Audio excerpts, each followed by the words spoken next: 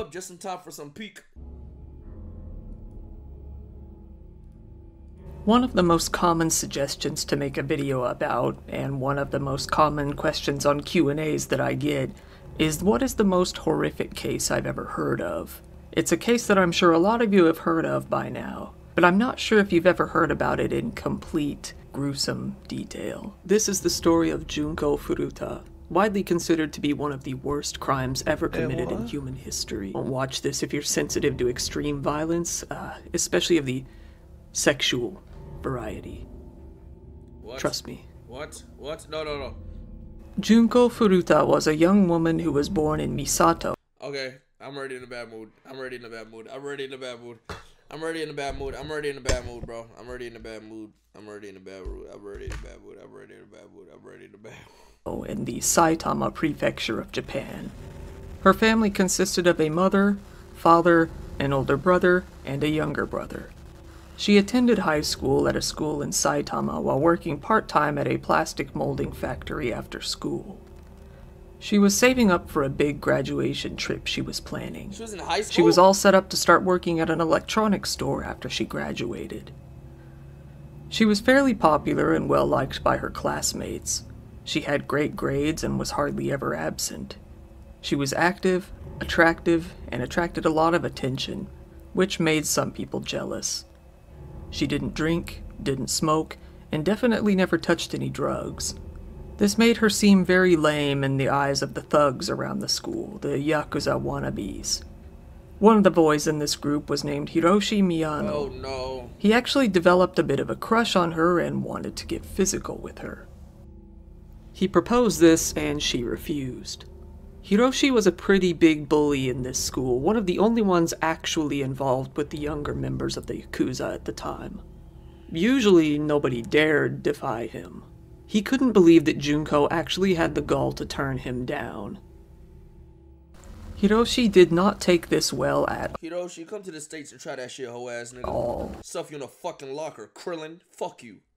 I don't even know what you did in this fuck you, nigga. He couldn't believe that anyone would ever reject him. He took it as a complete and total insult.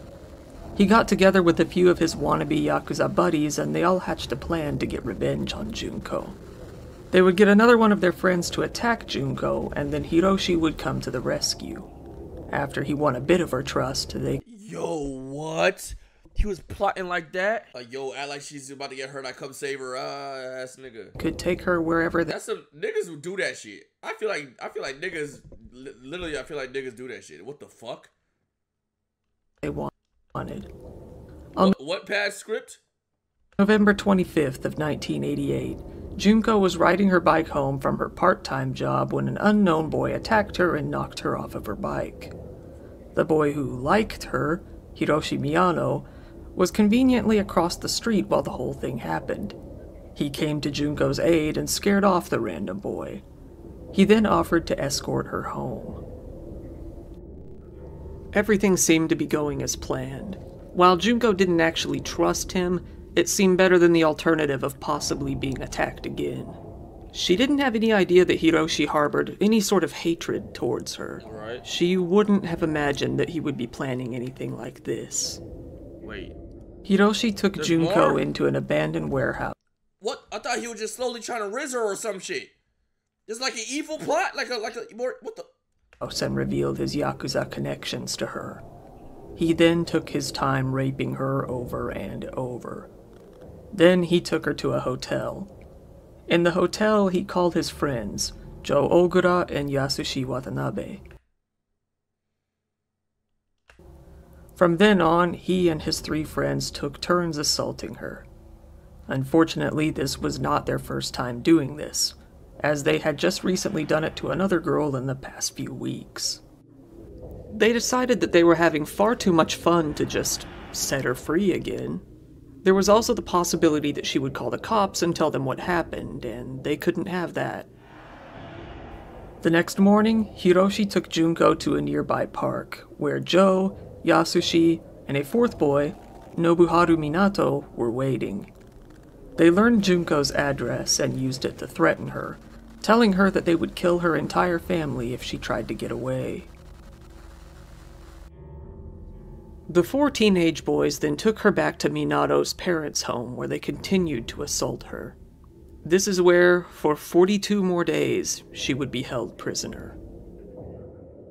On the third what? day that Junko was missing, her parents were dealing with the police, trying to get her found. Knowing this would happen, the captors made her call her parents and tell them that she had run away and was staying with a friend, safe and sound. She was forced to ask her mom to stop the investigation. They held Junko captive in the bedroom, forcing her to pose as one of the boys' girlfriend. It didn't take long for the parents to realize that this was a lie. Eventually, they dropped the whole girlfriend act altogether, as it was very clear that they weren't going to get in any trouble. Immediately after arriving at the home, the boys forced Junko into becoming their toy. They beat her relentlessly and raped her countless times a day, often taking turns. They were proud of what they were doing, regularly boasting to their friends that they had a woman trapped and ready for their personal use. They invited a load of their friends to come over and have their way with her. In the first few days, at least 30 of them raped her, and at least a 100 knew of her imprisonment. Even women were invited to come see the spectacle, with a young girl even being invited to come over and see the prisoner, who then took a pin and doodled on her face. By the day 7 mark, Junko had been already completely stripped of all of her humanity. She was forced to be naked at all times and was constantly beaten and humiliated. They would shove her into the freezer for hours when they were bored with her, only pulling her out when fuck? What, what kind of... What? they wanted to assault her again. Because she got rejected? Nobuharu Minato's brother and parents were living in the same house that she was being held in. His brother did nothing aside from informing him that Junko might die at this rate. His parents were afraid to intervene as they had seen Nobuharu's violent nature firsthand. They also knew of his association with the Yakuza and feared of their possible retaliation. And most disgustingly, they worried about losing their good reputation in the community. After about 10 days of this torture, Junko's body was already starting to fail her. Because of the ongoing, endless beatings, so much blood had accumulated in her sinuses that she could no longer breathe through her nose. Bro. Her digestive system was also beginning to refuse food and water. If she attempted to eat or drink anything, she would instantly vomit. This also led to severe dehydration. Anytime she would vomit, her attackers would get angry and beat her even further. A vicious cycle that had no end in sight. When the nights got even colder, she was forced to sleep on the balcony of the home and ex- Bro, how could you want it? How could you do that to someone that has done nothing to you? How? What? What is? What? How? How? Extreme cold temperatures, sometimes near. How could you do that? First of all, how could you do that in general? But, you, but like, uh, what, what, what, what the fuck? Or below freezing. Eventually, one of the men that the attackers would invite over to the house to see Junko would go on to tell someone else about her. That the attackers would invite over to the house, oh, freezing. Eventually, one of the men that the attackers would invite over to the house to see Junko would go on to tell someone else about her, his brother. This brother of his ended up informing the police about what was going on at the Minato house. Two officers were soon dispatched to go check things out. Minato's parents came to the door. When the police explained the situation, the parents simply responded that there was no girl in the house. The police took it at face value, thanked them, and left, without ever bothering to check even a single detail.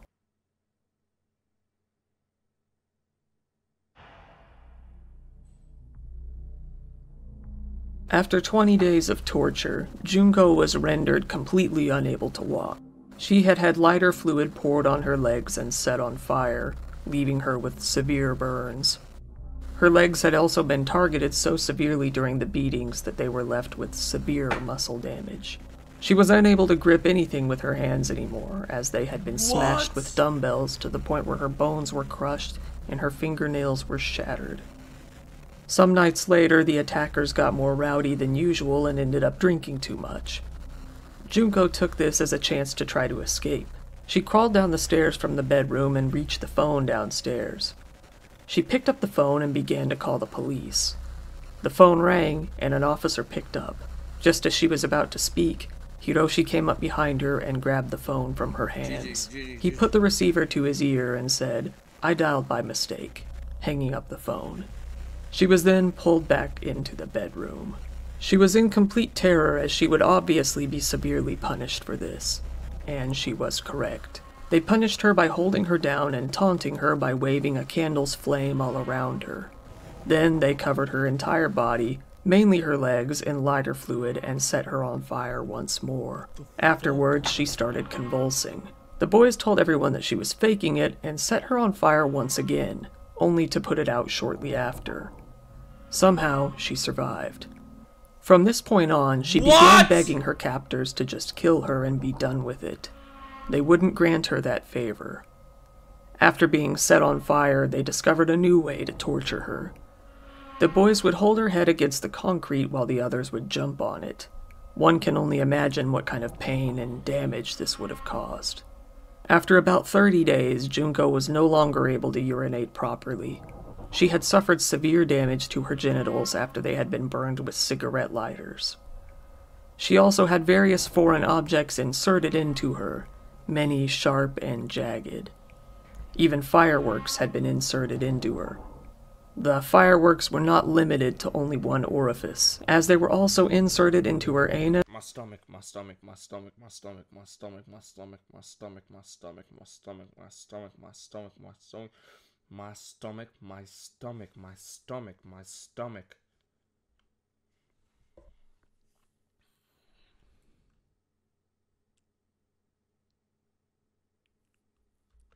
mouth, and ears as well. What? She was left with eardrum damage so severe that she was nearly deaf at this point. Her hands and feet were so damaged that she could hardly move. At best, she could crawl. It took her over an hour to crawl to the bathroom. A later report showed that her brain size was greatly reduced by this point in time. Due to her hellish appearance, the boys no longer found her attractive. They used the same strategy again to abduct and gang rape another 19 year old woman while she was on her way home from work. During these 44 days of hell, Junko Furuta was forced to withstand the most unspeakable torture and suffering that a person can imagine. Some of what was done to her includes being raped many times every single day, day and night, in all orifices. More than a hundred men are believed to have raped her by the end. Sometimes she was raped by up to 12 different attackers in a single day. Constant humiliation. She was forced to be left naked most of the time. Many of the men who raped her also urinated on her. She was forced to pleasure herself in front of the attackers for their entertainment. She was beaten physically every day.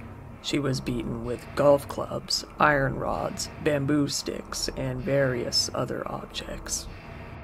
She had dumbbells dropped all over her body and her head stomped against the ground, face first. She had hot wax poured all over her face with a focus on her eyelids. Her eyelids were also burned with cigarettes and cigarette lighters. She was violated with a long list of various objects shoved into all orifices, including but not limited to bottles, both broken and unbroken, iron bars, scissors, roasting needles, chicken skewers, and more. She was given only the strict bare minimum of food and water. At times, she was forced to eat cockroaches and drink urine. She had fireworks put into all of her orifices, leaving damage and severe burns. She had her left nipple ripped off by a pair of pliers. She would be tied up flat on the floor and had dumbbells dropped all over her body.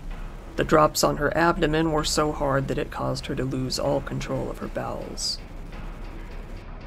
She was hung from the ceiling and used as a punching bag. She was shoved into a freezer and kept there for hours at a time. Her eyelids were burned with hot wax and lighters when she closed her eyes in fear. Her breasts were stabbed with sewing needles, the needles often being left inside. Her genitals were burned with cigarettes and lighters. She had a hot, lit light bulb inserted into her vagina and moved around until it shattered. By the end, she looked like a completely different person after all of the damage. It was hard to even make out her facial features. Her body was severely damaged and crippled, and she smelled as if she were already rotting. She was continuously heavily bleeding from her genitals from all of the abuse.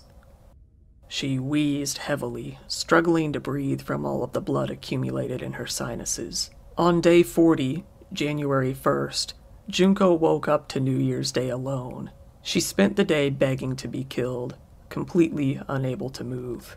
Three days later, on the fateful day of the 4th of January, the boys challenged Junko to a game of Mahjong solitaire and forced her to play.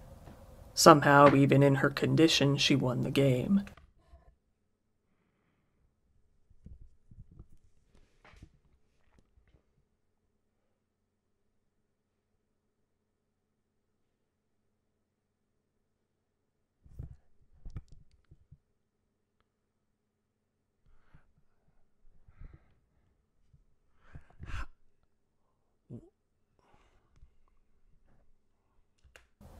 This infuriated her captors, who GG. treated her to a severe beating with an iron barbell, and then poured lighter fluid all over her arms, her legs, her stomach, and finally her face, dumping lighter fluid even into her eyes. GG. Then they put a candle to her face, igniting it all. She weakly attempted to put out the flames, but didn't have the strength to do so. This final torture lasted for a grueling two hours altogether. Already having been in a horrible condition, Junko went into shock and finally died the following day.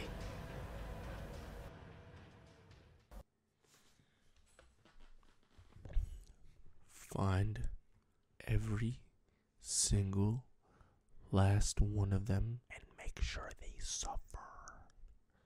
I need to know how this shit.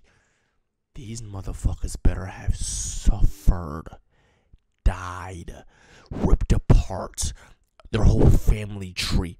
There's no, there's no, there's no way. There's, there's no way. This is just. Minato's brother called him within 24 hours to inform him that Junko had died. The boys all rushed over to the house in a panic. Fearing what would certainly be a life sentence, or even a death sentence, the boys started to freak out. Now y'all are freaking out. Not after the 100th, the 50th bottle up her boom, boom. Like, like, like. Now y'all are freaking out. Y'all are freaking out. What do you think she was gonna happen? Uh, You lighting the bitch on? You lighting her on fire? What the fuck you think? All these niggas ret- bro. Just them, make them so. Oh, oh my god, Uh, chat. Torturing like with, with, with shit like this, 100% proof and shit like that. Torture needs to be made legal, bro. I don't give a fuck. Niggas need to be able to get tortured publicly or something. I don't give a fuck, bro. I don't care. I don't care, bro. I don't care, bro.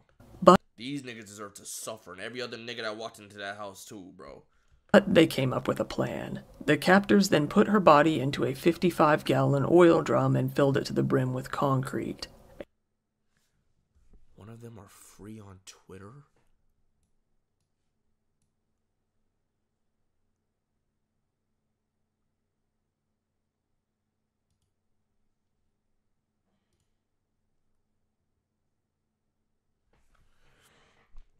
Why is it wrong to reflect on this shameful incident from your childhood and state that what is wrong now is wrong? What is wrong with saying that making it known that misuse of technology should not be tolerated? I want people all over the world to be aware of the current situation where many people are being abused due to criminal act. I want those who criticize me to know this fact.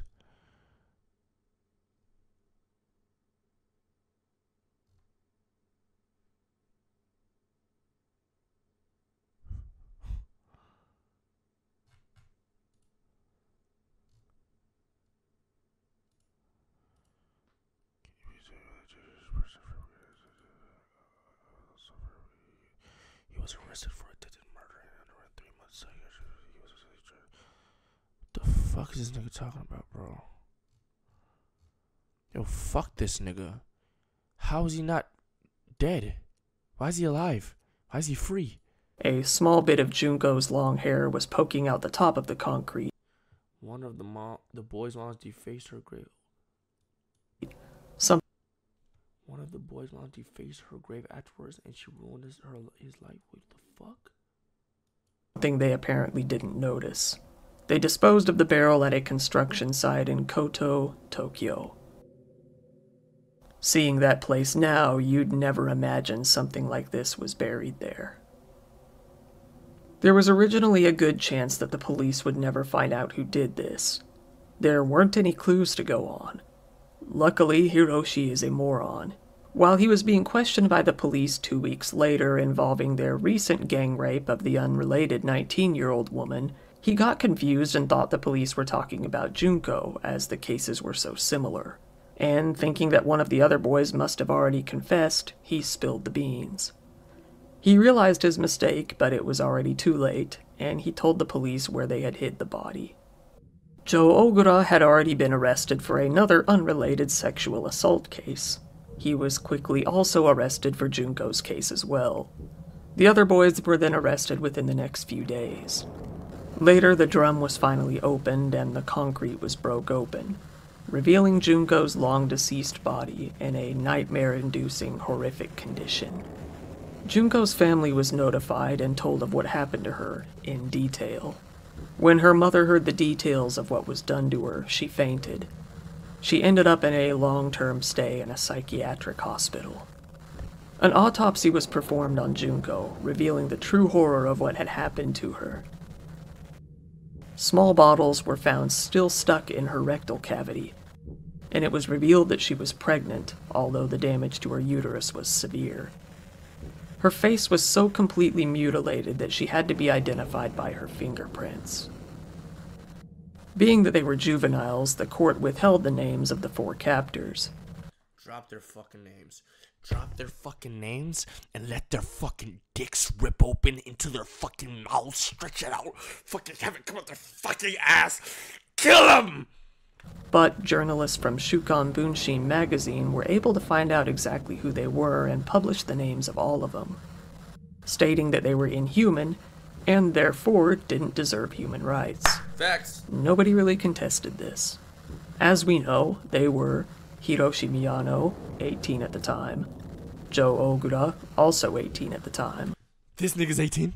I thought this was old man. I thought it was like a 50 or 40 year old. This nigga's not 18. Who's this ugly ass nigga?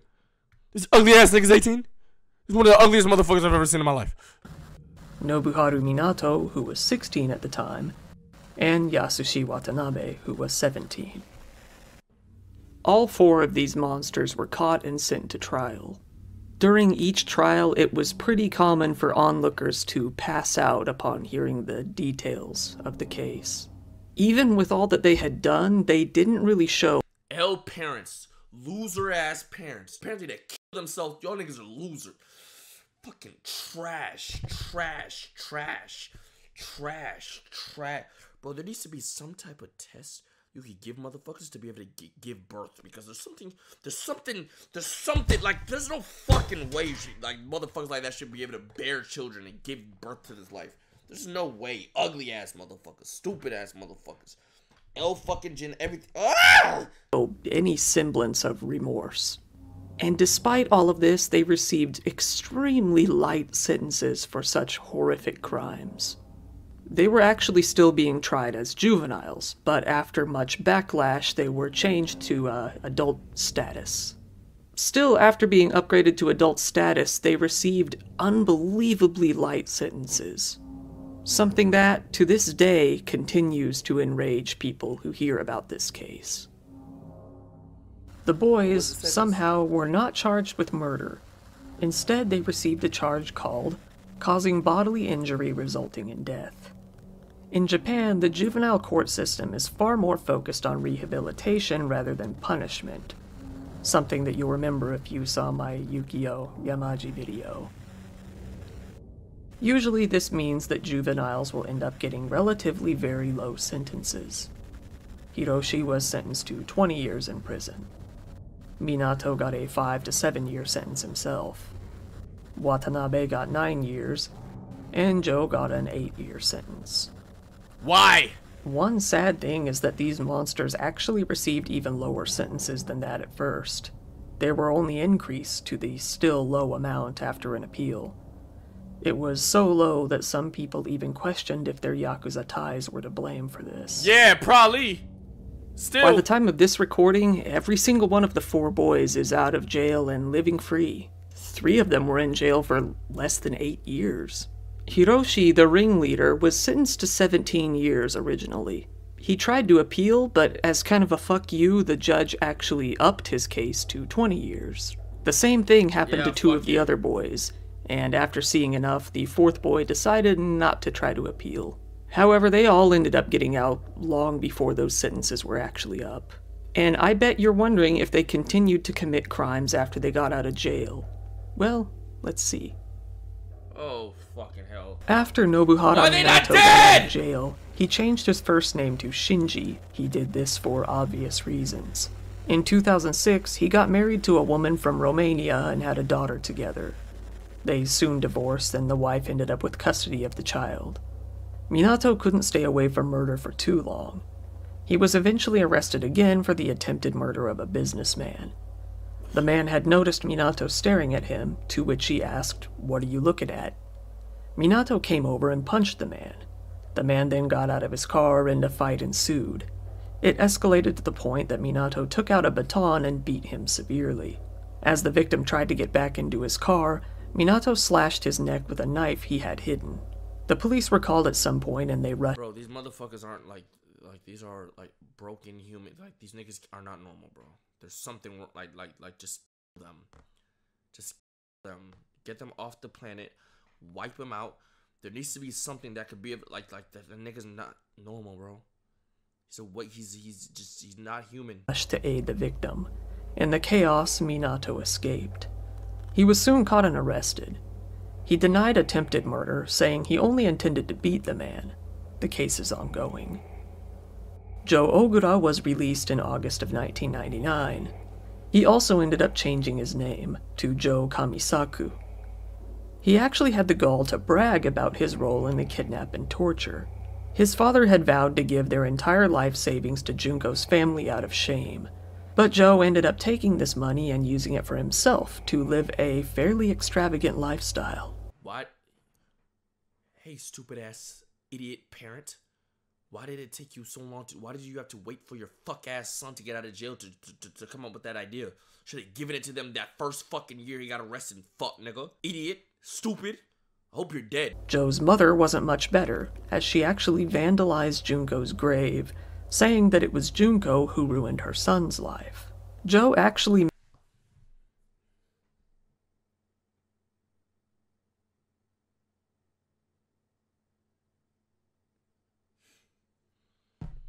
Victim Andy. No accountability, and there's so many problems. There's so many issues. There's so many things that come into play here. Fucking read. What the fuck, my nigga? What in God's name, bro? See, that's, that's just genetic. You got it from your stupid ass whore slut mother. You got it from your stupid ass whore mother. managed to find some women to date him. The dad seemed like he had some fuck, like, bro. He ended up marrying a Chinese woman, but the marriage didn't last too long. Afterwards, he started dating another woman.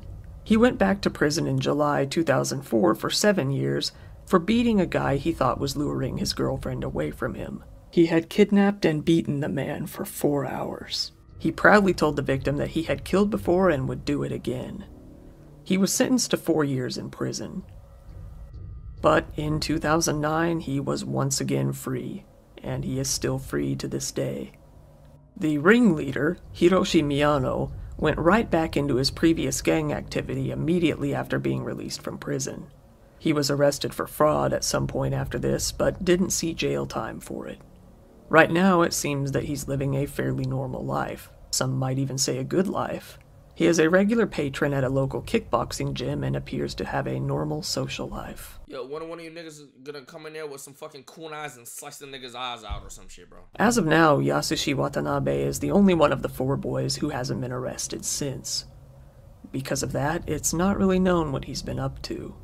Since the investigation first started, the police have been able to get DNA from the sperm and pubic hairs found in evidence to link several more criminals to the crime, including two men named Koichi Ihara and Tetsuo Nakamura, both of whom were arrested, and there are probably many others who have not been revealed to the public. It is unknown if they will all face any sort of charges. time will tell. So there it is, the worst case I've ever heard of. I get this question a lot, and it's it's just always this one. There are a couple of others that come kinda close, but it's really hard to top something like this. Nothing I mean, you've got the nothing. brutality, the length, the It's the scale. I've ever heard in I mean, life. just the worst that I've ever so heard my asking life. if you like this video seems a little bit fucked up. So if you ever heard in my enjoyed this video, uh, please give it a like. It helps me out. Although I doubt this video is going to really be pushed. But I'm sorry, I can't like this. if you like dark content like this, good coverage, I appreciate your coverage. I can't like this video game. sorry, I know it's not you, but uh, like, be sure to subscribe. I, I do a lot of it. And if you'd like to support this channel even further, I do have a Patreon page that's linked in the description. Speaking of which, shout out to my top patrons David McLaughlin, Marsh, Buffa Zerk, Yo, girl, ladies, bro, please stay safe, bro. Don't walk home alone. None of that shit. Don't, my nigga. Said I'm on three pills right now, if I'm being honest. Hope my feelings shoot out like a rocket. Niggas thought they had the swag, but I'm really on it. Look at you just window shopping that new bag I bought.